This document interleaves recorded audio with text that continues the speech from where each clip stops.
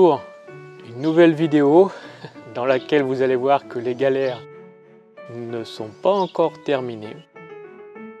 Et eh oui, de la casse, comme annoncé au début de cette vidéo, de la casse et des crevaisons.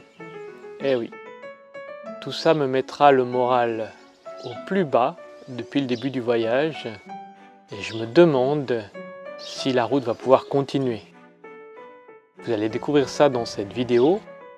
N'oubliez pas bien sûr de liker cette vidéo si vous l'avez aimée, de vous abonner à la chaîne si ce n'est pas encore fait, de mettre un petit commentaire positif pour m'encourager et sincèrement j'en ai vraiment besoin en ce moment. Vous pouvez également activer la petite cloche pour être informé de la prochaine vidéo puisque comme vous avez remarqué les vidéos ne sortent plus maintenant que le vendredi mais il y en a également le lundi et il peut y en avoir d'autres lorsqu'il y a beaucoup de retard. Comptez un décalage d'une semaine à 10 jours entre la vidéo et le timing réel. C'est pour ça que je vous invite à me suivre sur Instagram, pour me suivre plutôt en live. Sur Instagram, vous pouvez aussi plus facilement me contacter, me parler en direct et éventuellement, pourquoi pas, qu'on puisse se rencontrer sur le bord de la route. En tout cas, je vous remercie de suivre mes aventures. Si vous le souhaitez, vous pouvez également me soutenir sur PayPal et sur Tipeee. Vous avez toutes les informations en dessous de la vidéo, comme d'habitude. Et je vous dis à tout bientôt. J'ai quitté maintenant la Via Rona depuis 7 pour suivre le canal du Midi, puis le canal de Deux Mers. Vous voyez ici le parcours depuis 7 jusqu'à Royan.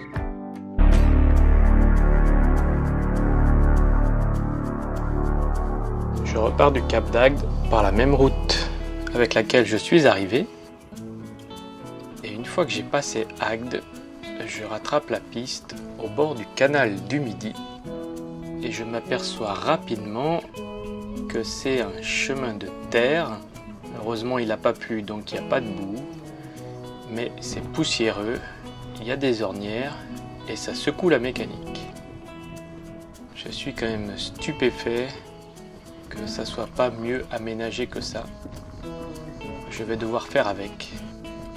Là, le passage est fermé pour les remorques, trop étroit. Je regarde juste ce bateau passer et je vais devoir faire le tour par ce passage spécialement prévu pour les remorques. Mais quand j'arrive au bord de la route, je m'aperçois rapidement que rien n'a été prévu. En montant doucement, en poussant le vélo, je rejoins la route pour passer le pont et rattraper le chemin de l'autre côté pour rejoindre le bord du canal du Midi.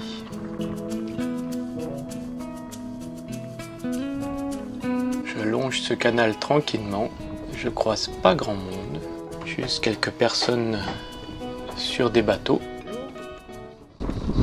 bien là Qui sont posés ça et là pour la farniente et pour boire un verre.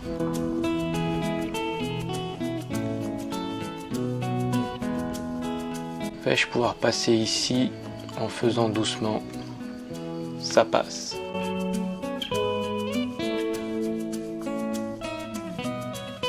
Et là, j'arrive sur un petit port aménagé.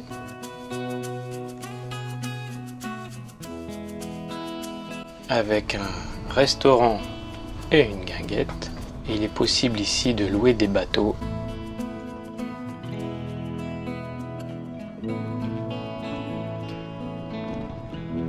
Une fois que j'aurai fait le tour du port, bah de nouveau je rattrape le bord du canal pour poursuivre ma route en direction de Béziers. Ces chemins sont calmes, paisibles la détente pourrait être absolue, mais je dois être vigilant sur l'état du chemin de manière à éviter trop les trous, les nids de poules, pour éviter de casser quelque chose. Et je pense bien sûr à la barre d'attelage que j'ai déjà cassée de nombreuses fois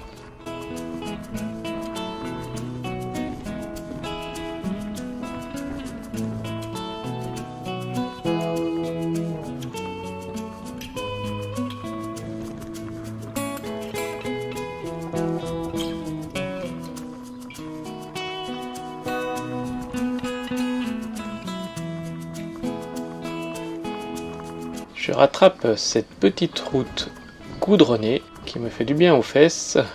Enfin un peu de confort, un peu moins de secousses. Et là tout d'un coup il y a une superbe piste cyclable d'aménager. C'est incroyable la différence d'aménagement d'un endroit à l'autre. Je peux donc poursuivre ma route plus serein, confortablement, en augmentant ma vitesse de croisière, et j'arrive même à doubler les bateaux, c'est vous dire. C'est vrai qu'ils ne vont pas très vite, mais ça doit être agréable de faire le canal de Midi sur un bateau. Je poursuis ma route ainsi sur cette piste goudronnée qui me conduira jusqu'à Béziers.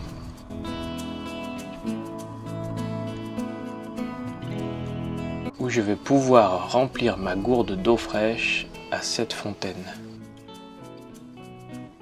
Rapidement, je traverse le canal pour rattraper la trace de l'autre côté et traverser Béziers.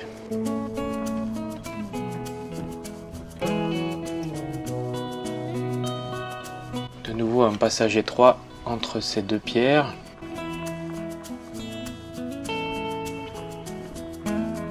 Et je rattrape rapidement un quai bien aménagé, aussi bien pour les vélos que pour les bateaux.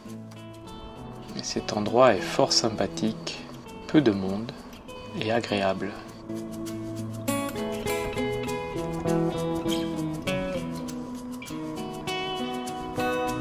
Au bout du quai, une côte assez sérieuse me conduit directement sur ce pont-canal magnifique, très vieux, rempli de petites pierres bien rangées qui me secouent tellement que je décide de descendre du vélo et de le pousser afin de limiter les secousses. Et j'admire au loin la cathédrale de Béziers, je ne sais pas si c'est une cathédrale.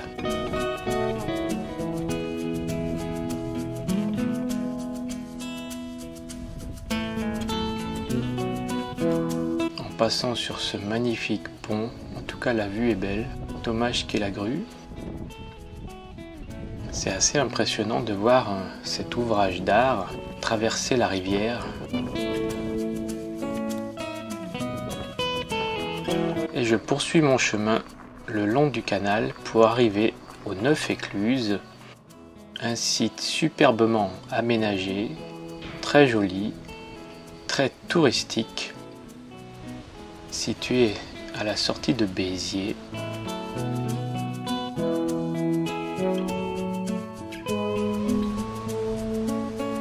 Je peux voir les embranchements des canaux et toutes ces écluses qui s'enchaînent les unes derrière les autres avec des bateaux remplis de touristes qui sont en train de les franchir. C'est vraiment un passage assez impressionnant du canal du Midi. Je ne sais pas combien de temps il faut pour un bateau pour traverser euh, toutes ces écluses. Mais je pense que ça doit prendre un bon moment.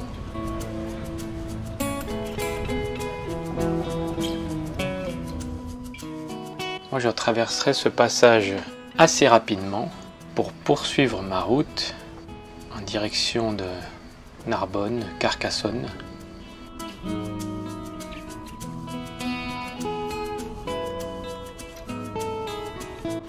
Chemin est de nouveau euh, un chemin de terre, mais euh, agréable à rouler tout de même.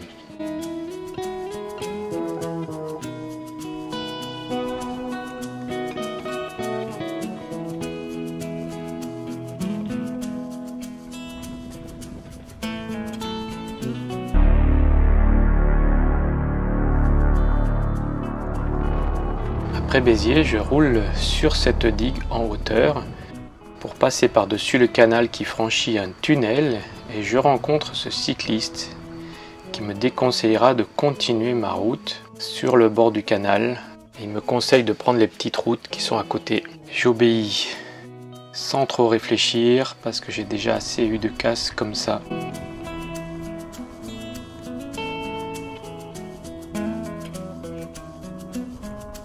Mais ça n'empêche pas qu'un peu plus loin,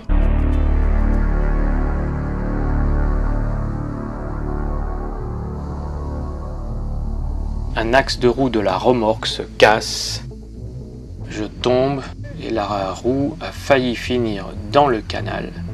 Et il me faut un certain temps avant de réaliser que je vois pas comment je pourrais réparer ça. Il fait très chaud, je suis en plein soleil, euh, j'ai pas d'amis à proximité.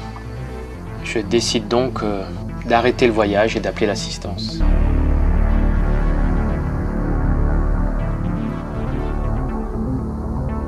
J'appelle le Touring Club Suisse où mon vélo est assuré et il m'explique que effectivement le vélo est assuré mais pas la remorque et donc ils ne peuvent pas intervenir sur ce type de situation. Eh ben, me voilà bien.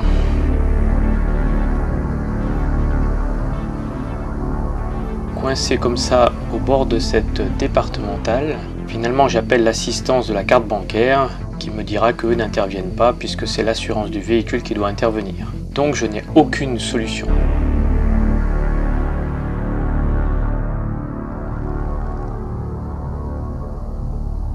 En discutant au téléphone avec mon copain Pierre pour chercher d'autres idées pour trouver une solution, il me dit ben il faut que Dieu t'envoie un ange. Et juste à ce moment-là, arrive un monsieur avec son fourgon. Je lui fais signe, il s'arrête et voilà, je lui dis que j'ai cassé la roue et s'il peut m'emmener à une agence de location de voitures pour que je puisse rentrer chez moi. Il regarde l'axe, la roue, et me dit que ça doit être réparable. Et donc, euh, il part chez lui avec la roue, l'axe cassé, et me laisse sur le bord de la route à attendre.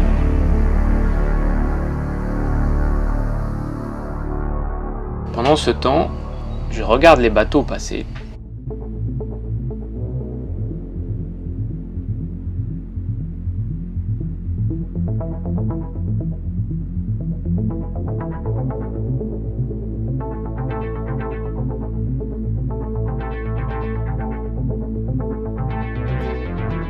Une heure après, ce monsieur revient en ayant refabriqué un axe de roue. Je suis stupéfait, Nous réinstallons donc la roue avec ce nouvel axe, remise du cercle ce qui va parfaitement bien. Et je suis vraiment... Euh, j'ai pas les mots pour remercier ce monsieur.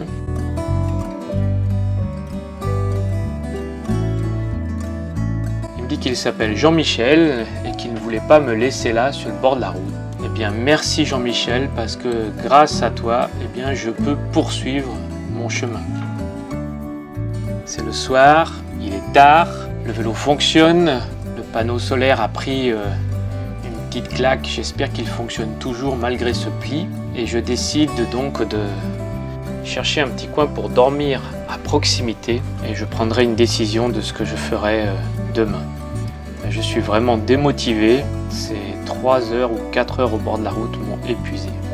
Finalement, sur un talus, je trouve un endroit entre les sapins où je vais pouvoir planter ma tente. Mais pendant que je la monte, tout d'un coup, j'entends un bruit.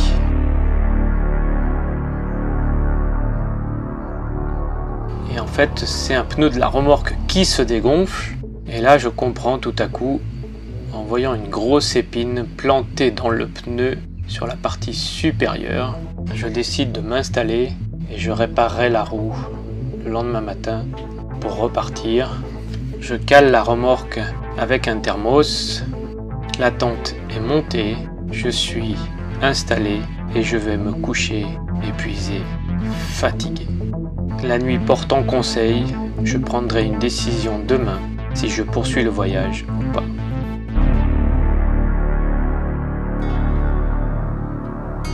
Le lendemain matin, je me réveille avec un soleil qui pointe entre les nuages et je vais commencer par faire de la mécanique pour réparer ma roue, changer la chambre à air. J'ai calé la remorque et j'ai pas besoin d'enlever la roue comme ça. C'est assez rapide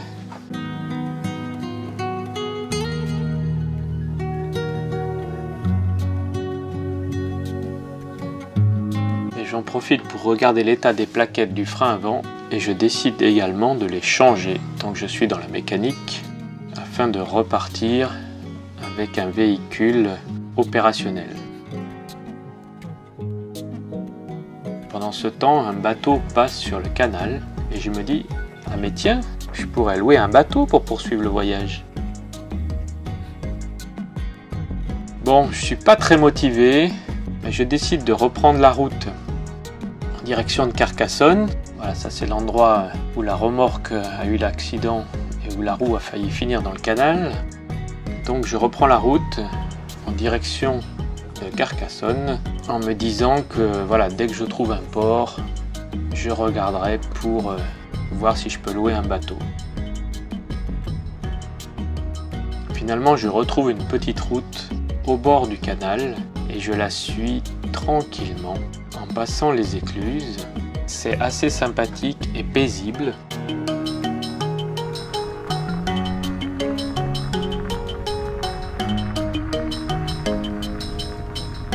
J'arrive au port pour la location du bateau où je me renseigne. Le prix est exorbitant et de toute façon pour louer un bateau, il loue à deux adultes minimum parce qu'il considère qu'il faut être deux pour pouvoir passer les écluses en toute sécurité. Donc je poursuis ma route en passant par ce joli village de Juarez je rattrape l'écluse du même nom où j'achèterai quelques fruits, notamment des bonnes figues délicieuses qui me permettront de poursuivre ma route. Je longe toujours le canal avec des chemins plus ou moins viabilisés. Je poursuis en direction de Carcassonne.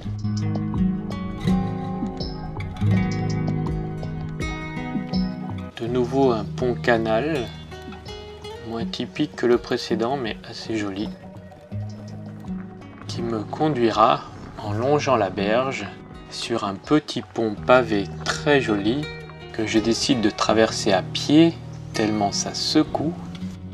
Il est assez long. Et j'arriverai de l'autre côté où cette dame me dira de, que je peux continuer doucement. Je croise de plus en plus de bateaux sur ce canal. Ça fait une animation bien sympathique.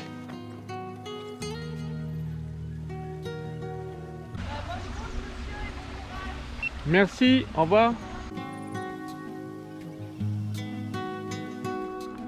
Je continue donc sur cette digue au calme. Je suis quand même un peu secoué sur ces petits chemins et je crains pour la remorque que l'autre essieu soit fragilisé et casse. Donc je vais vraiment doucement en jonglant entre les nids de poules. Et je monte ces côtes qui me conduisent vers les ponts rattraper le haut d'une digue le chemin est un peu plus viabilisé.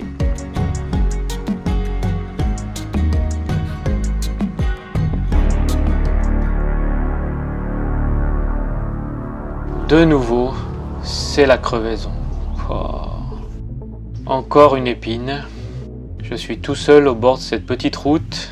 J'ai le moral dans les chaussettes. J'ai calé la remorque avec mes bouteilles. J'ai une deuxième chambre à air que je vais mettre à l'intérieur de la roue après avoir enlevé l'épine. Et je pouvais pouvoir continuer à reprendre le bord du canal, mais vraiment, j'ai pas la pêche.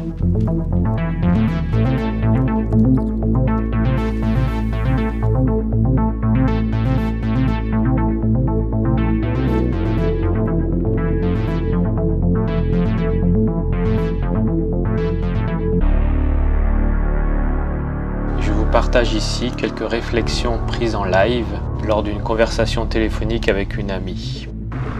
En bref, je sais pas ce que je fais. C'est vrai que là, si ça va bien jusqu'à Trèbes, bah, une fois que je suis à Trèbes, je me dis, bon, Laurent, continue. Comme quand le gars, il m'a réparé la roue. Je dis, bah, Laurent, il t'a réparé la roue, Dieu te l'a envoyé, c'est pour que tu continues. Ta décision, elle est pas facile à prendre, quoi.